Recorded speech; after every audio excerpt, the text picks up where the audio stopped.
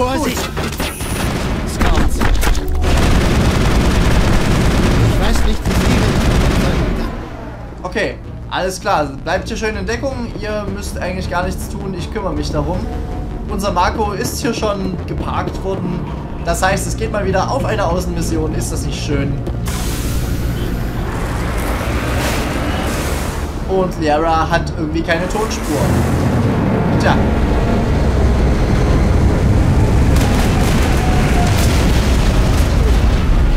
Kampfläufer, ein Traum. So. Die letzten gingen nach Süden. Wonach suchen die? Wir empfangen ein schwaches Com-Signal. Ich kann es aufgrund der Störungen nicht lokalisieren. Gut, und wir kümmern uns erstmal um die Kampfläufer. Ich versuche mal ein bisschen hier dieses Wrack als Deckung zu benutzen, um zumindest die, die von unten schießen, abzuwehren. Dann können wir uns nämlich erstmal in Ruhe um den hier oben kümmern. Das macht sich vielleicht ganz gut. Und ich habe das Problem mal wieder, wenn ich auf der Schräge hänge, dass dann die Geschütze nicht mehr dahin schießen, wo sie hinschießen sollen. So. Und dann können wir den proteanischen Highway auch mal weiter voranschreiten. Mehr Kommunikation, Commander, aber der Sender lässt sich nicht lokalisieren. Was? Lisbeth könnte noch da drin sein. Es ist erst einige Tage her. Gut, geben wir mal ein bisschen Gas. Wir merken also, da ist noch jemand am Leben da drüben.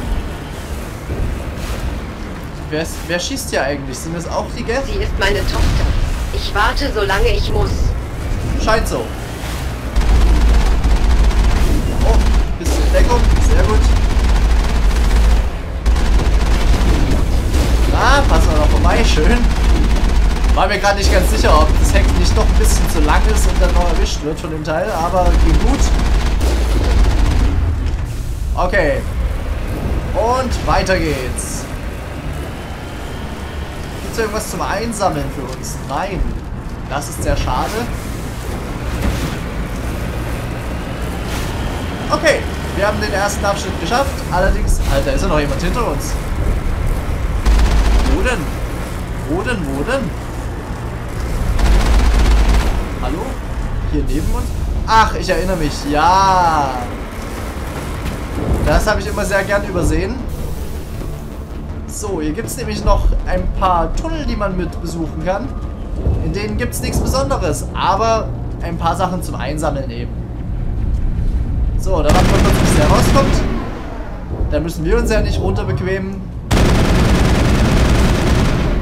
Und dann war es das auch schon für den ersten. Dann bleibt bloß noch einer. Na, was machst du denn? Macht er sich an der Wand fest? Okay. Im Shootout habe ich gewonnen. Und hier haben wir mal wieder eine Kiste. Die muss ich mir mal aufschreiben. Proteanischer Highway. Prot Highway. Alles klar. Gut, müssen wir uns dann später mal holen, aber zumindest ist sie schon mal vermerkt. Okay. Ja, ihr kommt äußerst früh, das ist wieder super. Und Rex, der bewacht den Wagen, natürlich. So, ich weiß nicht, ob davon nochmal irgendwo was... Nee, ich glaube nicht, ne? Ich glaube, davon war nichts. Aber im nächsten Streckenabschnitt des Koreanischen Highways, da war, glaube ich, auch nochmal so ein Ding. So, schön, dass das gleich von alleine öffnet, dass ich nicht erst den Schalter bedienen muss. Und Da passiert etwas. Da ist eine Art Fahrzeug. Keins, der geht. Stimmt, ja war schon der Ausgang. Sie können uns sehen. Wir müssen in der Nähe sein. Vergessen Sie sie. Wir müssen die Geht finden. So, nichts mit vergessen Sie sie. Mensch, Rex, du bist ja auch so unglaublich auf dein Ziel fixiert immer. Kommt halt davon, wenn man als Söldner arbeitet. Da ist man... Ich will mal kurz noch mit dem Marco da oben schauen. Da hat man ein bestimmtes Ziel. Arbeitet nicht unbedingt nach Gewissen, sondern arbeitet nur konkret dieses Ziel ab und dann war's das auch schon. Ach okay, hier geht's dann weiter. Dann bleibe ich mal hier mit dem Wagen und schaue nochmal unten vorbei. Denn dort unten ist nur die Stellung der Menschen und der eigentliche Weg führt uns nach oben weiter. Deshalb komme ich hier durch? Nein, natürlich nicht. Ärgerlich. Deshalb gehen wir erstmal hier runter und schauen mal, mit wem wir es hier zu tun haben. Exogeny Sicherheit. Rex. Teleportiert Das ist nah genug. rein. Entspannen Sie sich, John. Das sind offensichtlich keine Geht. Gehen Sie zurück, Juliana. Wer sind Sie? Was wollen Sie? Der hat aber auch ein übelstes Herb-Derb-Gesicht. Commander Shepard, ich bin hier, um Ihr Geht-Problem zu beseitigen. Sehen Sie? Sie machen sich zu viele Sorgen. Und Sie vertrauen anderen zu schnell, Juliana. Ich bin nur froh, ein freundliches Gesicht zu sehen. Ich dachte, wir wären jetzt die einzigen Menschen auf diesem Planeten. Faidan und einige andere Mitglieder von Sus Hope sind noch am Leben. Ich dachte, Sie sagten, Sie wären alle tot. Ich sagte, Sie wären vermutlich alle tot. Sie haben trotz allem, was die Geht ihnen angetan haben, überlebt. Wir wissen, wie das ist. Diese verdammten Synthetischen sind grausam. Ich tue, was ich kann, um sie von ihnen fernzuhalten, aber ich brauche Informationen. Was für Informationen? Ignorieren Sie ihn. Die Geht sind im Hauptquartier von Exogeny hier ganz in der Nähe. Das Hauptquartier ist Privatbesitz, Soldat. Beseitigen Sie die geht sonst nichts. Ihre Firmengeheimnisse interessieren mich nicht. Commander, bevor Sie gehen, meine Tochter Lisbeth, sie wird vermisst. Sie sollten keine Zeit mit der Suche vergeuden. Wenn die geht weg sind, können wir die Verluste zählen. Das ist meine Tochter, von der Sie da reden. Und sie ist noch am Leben, ich weiß es. Wo ist Ihre Tochter, Juliana? Sie arbeitete im Exogeny-Gebäude, als wir angegriffen wurden.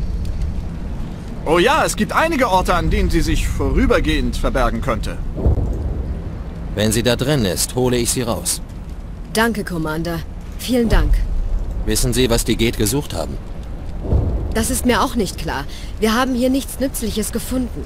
Woran uns Exogeny nur zu gern ständig erinnert. Wir müssen auf unsere Ausgaben achten. Äh, Das ist nicht persönlich gemeint. Erzählen Sie mir bitte von dieser Kolonie. Wir haben uns vor vier Jahren hier niedergelassen. Bis zu den Angriffen ging es gut voran. Die größte Herausforderung war der Mangel an Ressourcen. Hier gibt es kaum etwas von Wert. Trotzdem haben wir es versucht. Wir fühlten uns schon fast wie zu Hause. Was hat Sie hierher geführt? Ich schätze, ich dachte, das wäre ein Neuanfang. Ich wollte an einem Ort leben, an dem ich das Gefühl hatte, gebraucht zu werden. Stattdessen wurde alles, was wir aufgebaut haben, zerstört. Es ist hart, nicht die Hoffnung zu verlieren. Erzählen Sie mir bitte von dieser Kolonie. Wir haben uns vor vier Jahren hier niedergelassen. Oh. Bis zu den Angriffen ging es Das gut voran.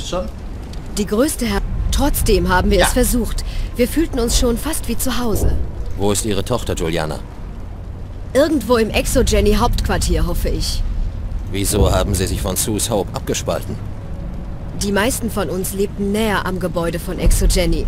Sus Hope wurde größtenteils als Raumhafen genutzt. Als die Geht zuschlugen, haben wir uns verteilt. Bevor sie uns von den anderen erzählten, dachten wir, sie wären bei der ersten Welle umgekommen. Hätten wir gewusst, dass sie noch leben, hätten wir wohl versucht, zu ihnen zu gelangen. Sie sind jetzt relativ sicher, vielleicht sollten Sie das tun. Das halte ich für keine gute Idee. Wir haben keine Fahrzeuge und sind auf dem Weg fast ungeschützt. So wie in dem Gebäude, in dem wir jetzt sind? Wir sollten lieber hier bleiben und auf Hilfe von der Firma warten. Sie werden schon irgendwann kommen. Wofür wurde dieses Gebäude genutzt? Wir haben das Gebäude umgemodelt, um es als Hauptquartier von Exogeny zu nutzen. Dort gibt es größtenteils Büros und einige Labors. Exogeny ist gut darin, alles und jeden immerzu umzumodeln. Die Firma muss irgendwie Profit machen, Juliana. Ferox ist noch lange nicht selbstständig. Bleiben Sie hier, bis ich herausgefunden habe, was die Geht wollten. Wie Sie meinen. Und vergessen Sie nicht, wenn Sie meine Tochter sehen. Na klar doch, werden wir mal schauen. Ich hatte gehofft, mit Ihnen reden zu können. Ich habe ein kleines Problem. Was brauchen Sie? Ich muss einige Daten bergen. Es ist keine große Sache, wird aber gut bezahlt. Klingt recht einfach. Wo ist der Haken? Es gibt keinen Haken. Es ist nur gefährlich, aber nicht für jemanden wie Sie. Die Leute denken ständig, dass wir Spaß an der Gefahr hätten. Es ist eigentlich nicht so wild. Sie müssen nur meinen Computer im Hauptquartier von Exogeny finden und die Daten auf diese OSD laden. Ganz einfach. Ich sehe mich um, wenn ich dazu komme. Ich weiß das zu schätzen. Diese Daten könnten viel Geld wert sein. Natürlich hängt das alles davon ab, hier lebend herauszukommen. Warum arbeiten Sie hier im Nichts, wenn Sie doch gebraucht werden? Vielleicht, weil mich die Grenze lockt. Außerdem ist mir die Alternative doch ein wenig zu sicher. Wir Freischaffenden müssen uns nicht so um die Sicherheit sorgen, solange wir nicht auffallen. Erzählen Sie mir von den Daten, die ich für Sie holen soll. Pläne für einige Mod-Prototypen. Ich arbeite als Freischaffender und einige meiner Mods sind sehr gefragt. Ich muss gehen. Denken Sie an meine Worte. So, da haben wir also noch einen Nebenauftrag wieder gekriegt. Die restlichen müssten einfach normale Flüchtlinge sein. Ne? Da ist, glaube ich, keiner mehr dabei, der irgendeinen Namen trägt. Nein? Gut. Machen wir jetzt auf den Weg. Dieser Ethan Jong, der ist ja traumhaft. Der ist unglaublich mutig. Der ist, ich weiß nicht wieso ausgerechnet, der hier äh, das Sagen hat. Stellen Sie sich vor, wie dieser Ort in seiner Glanzzeit ausgesehen haben mag. Äh, sehr proteanisch wahrscheinlich. Ähm, mir fällt übrigens auch auf, dass, wobei das jetzt glaube ich nicht proteanisch, ne, aber das drüben ist, äh, der Highway war ja ein proteanischer, ne, Skyway hieß es, äh, war ja proteanischer Machart und das sieht doch alles sehr betonartig aus. Also so unglaublich fortschrittlich sieht der Baustil gar nicht aus, muss ich sagen. So, damit geht es mit dem Marco weiter, höher hinein ins Exogeny-Gebäude. Und wir haben also wieder ein paar Aufträge hier zu erfüllen. Wir müssen die Tochter von der einen finden, wir müssen die Daten von dem anderen finden. Und wir müssen ein bisschen ergründen. Genau, hier geht es doch noch weiter. Das ist noch richtig. Wir müssen noch ein bisschen ergründen, was hier eigentlich los ist. So, da ist es nur noch der eine. Da war es nur noch der eine. Dafür schreiben Sie uns was. Auf dem Oh. Skyway wimmelt es von geht. Nicht Das runterspringen. Paket ist gesichert. Wir gehen jetzt. Das klingt irgendwie nach Söldnern, ich weiß auch nicht. Na gut, schauen wir mal. Ah, du musst hier dran Schalten Sie vorbeifahren. das Komm ab. Geht's kommen auf uns zu. Mist. Schalten Sie das Komm ab. Da ja mal... Wer hat den denn erledigt? Da bin ich ja mal gespannt, wer da am Quatschen ist. Aber erstmal schauen wir wieder hier rein. Wir haben diesmal auf zwei Seiten jemanden. Okay, warte, hier kommt gleich einer. Ach, Rex, weißt du. So unmöglich mit dir. Gut, die anderen beiden sind unten.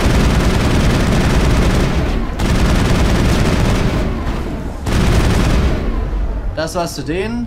Rex ist mal wieder vorausgerannt, was total super ist in Verbindung mit der Tatsache, dass er immer noch die Rüstungsstufe 1 trägt. So, den haben wir mal im Nahkampf aus dem Verkehr gezogen und Rex den anderen. Sehr schön. Okay, wir nehmen mal wieder die Kisten mit.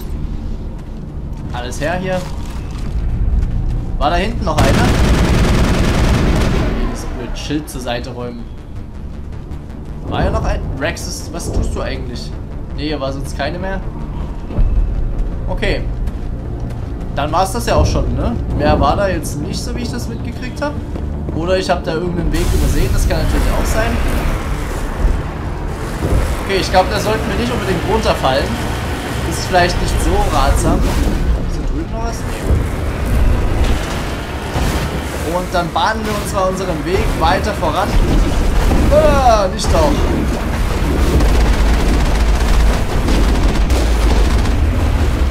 Okay. Wieder mal ein paar Raketenschützen. Treffe ich wieder nicht vernünftig, ne? Okay, der ist platt. Da hinten haben wir mal wieder einen Kampfläufer. Halten wir einfach mal so lange drauf, bis er umfällt. So, den können wir doch eigentlich mal mit voller Fahrt über den Haufen rotzen. So, hat sich das auch erledigt für den. Upp. Hüpfen wir noch lustig durch die Gegend. Und damit ist auch die zweite Runde auf dem Skyway beendet. So, hier vorne war noch jemand. Das habe ich gesehen, bevor sie mir den Radar blockiert haben. Genau. Die können wir uns vielleicht noch holen, die kleinen Pirsche. Bloß nicht. Wo sind Die sie haben denn? sich aber ziemlich schnell niedergelassen. Was haben Sie nur vor? Das macht keinen Sinn, außer Sie suchen nach etwas. So, das lässt sich alles noch ganz gut hier beseitigen. Wir merken schon, der Marco, der kommt hier nicht weiter. Das heißt, wir haben unsere Endposition erreicht. Ich park dann mal hier so. Oh, da sind noch mehr. Na gut, dann nehmen wir die auch noch hoch.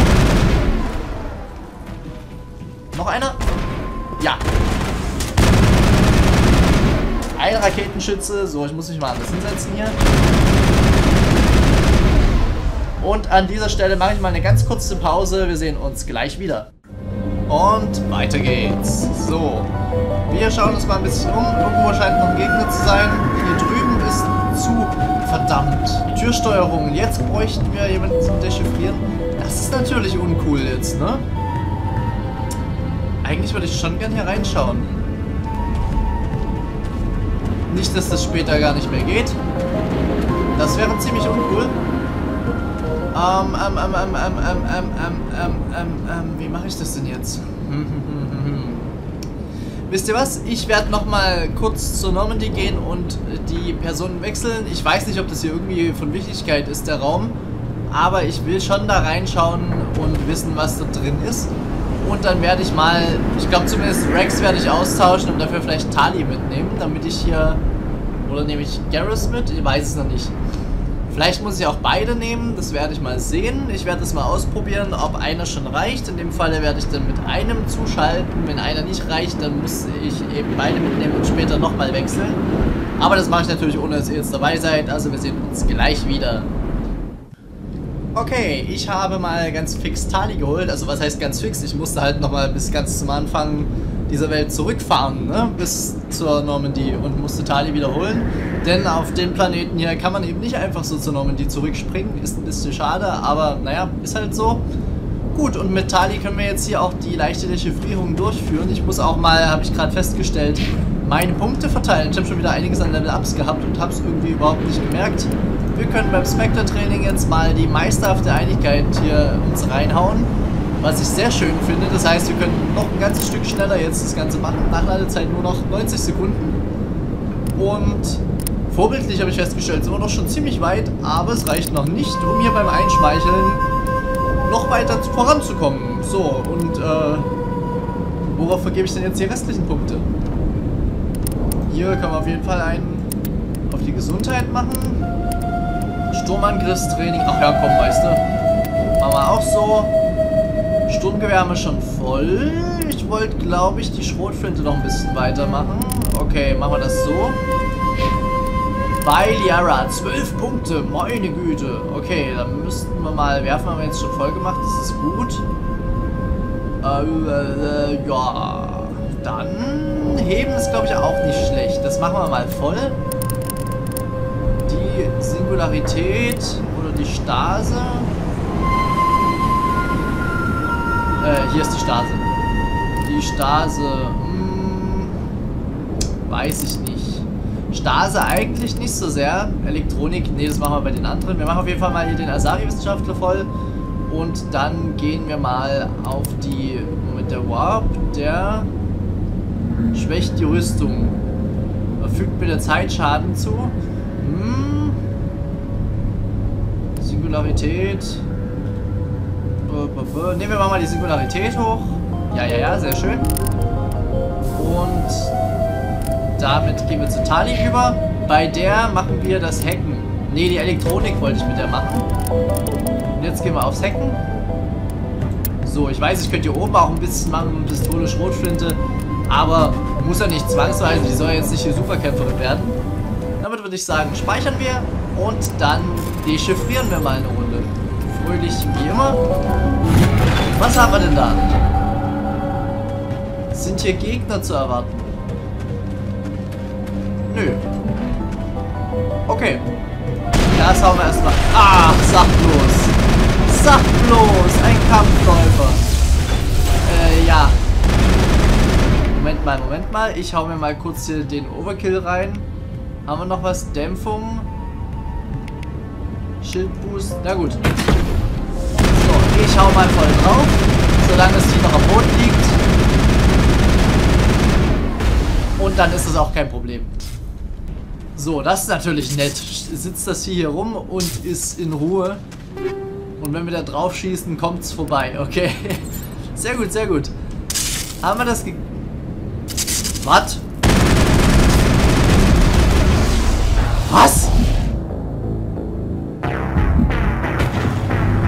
Hat nach hinten geschossen, durch seinen Kopf durch? Wieso stand das hier jetzt wieder? Das ist ja eine Frechheit. Das ist ja eine bodenlose Frechheit. So, dann müssen wir den ganzen Spaß eben nochmal machen. So, schnell hier hoch. Das ist ja unglaublich. Unglaublich ist das. Vor allen Dingen so klein und unscheinbar hier, ne? Dieser Bastard. So. Und jetzt hauen wir dir von Tali eine Sabotage rein. Sabotage? Ich glaube schon, ne? War das die Sabotage? Ne, die Überlastung. Die Überlastung? Ich glaube, die Überlastung war das. So, oder können wir KI-Hacken machen? Ne, das bringt uns nichts. Und äh, hier machen wir mal... Was hast du gerade gemacht? Singularität. Singularität. Ich nehme das. So, diesmal gehen wir auf Nummer sicher.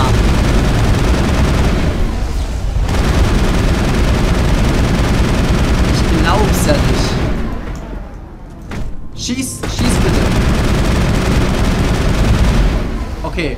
Das Problem ist nämlich auch ähm, mit diesen mit diesen Viechern, wenn die einen einmal treffen, ist man halt tot, ne? Die haben so einen unglaublichen Wumms, dass das schon reicht. Ich trau dem nicht mehr. Ich trau dem nicht mehr. Der bleibt doch nicht tot. Na gut, wir sammeln mal fix ein. Siehst du, siehst du, siehst du? Da lebt er wieder. Ist ja unglaublich hier. Ah, das geht gar nicht.